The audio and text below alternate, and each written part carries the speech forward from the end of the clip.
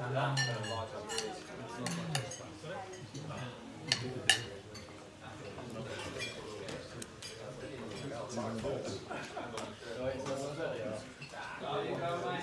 I'm Ben Hughes from Manchester.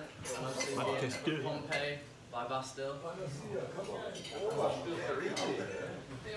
I was left to my own device. Ah, ah, ah.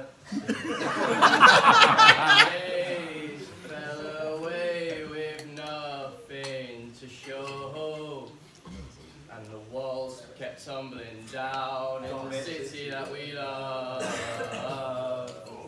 Great clouds all over the hills, bringing darkness from above.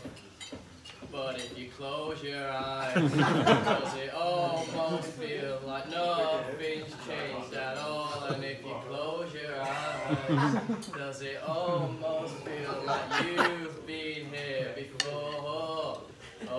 gonna be an optimist about this. I'm gonna be an optimist about this.